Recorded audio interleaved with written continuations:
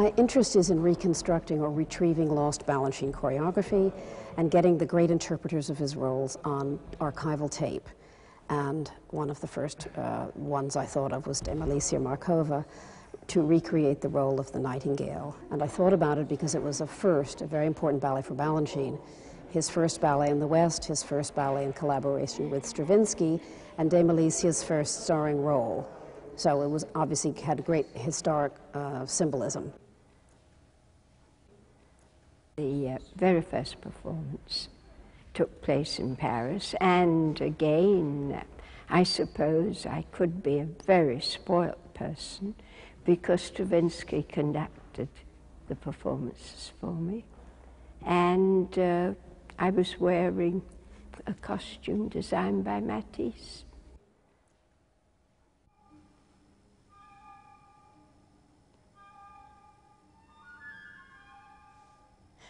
This is you. Can you hear mm.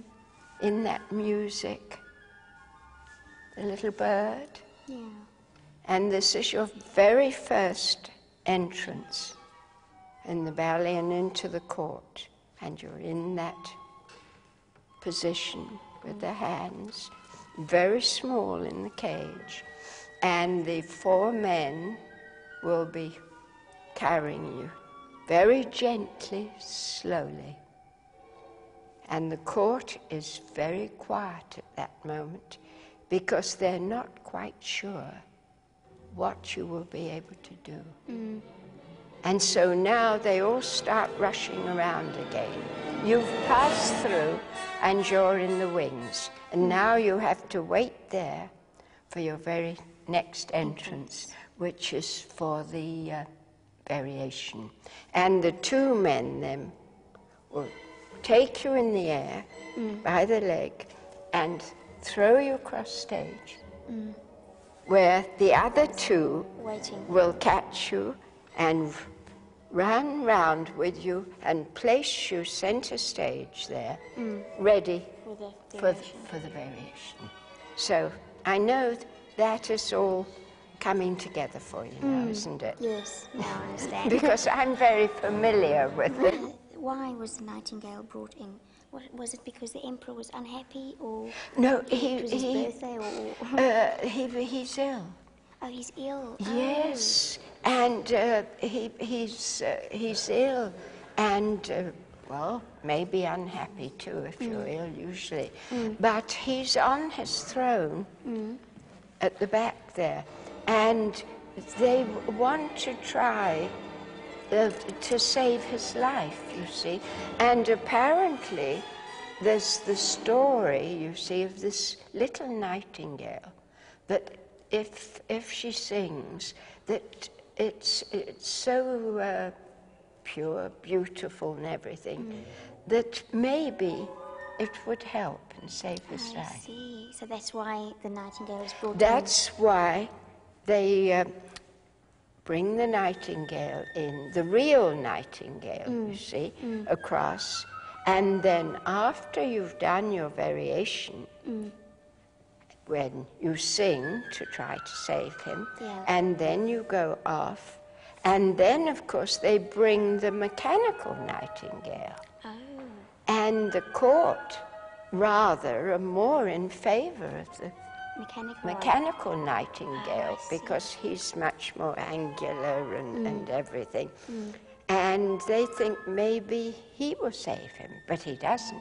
Mm. You see? And then, of course, death comes in to try to take the, emperor. And you take pity on him mm. and come creeping back and think maybe you can win over death to save his life. Oh, so that's where death And which you do in mm. the end of the ballet. But you also expire. Oh.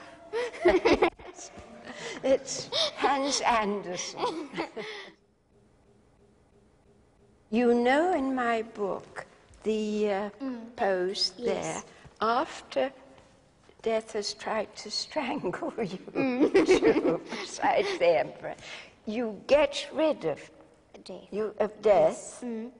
but you expire from From the getting rid, and you go into that pose. That was your big pose, and then gently you just turn over, and uh, a little bit like in the variation, you know those little creep Yes, yes. things. You're almost on the floor, isn't mm, it? Mm. And you turn over, and you very slowly, quietly, you just creep away oh. Is that and you've end? expired. Oh. And then suddenly, as you disappear in the wings, the emperor suddenly comes to life and takes this huge robe and flings it down, and it used to cover the whole stage, the courtiers, and they all went on their feet because you'd saved him.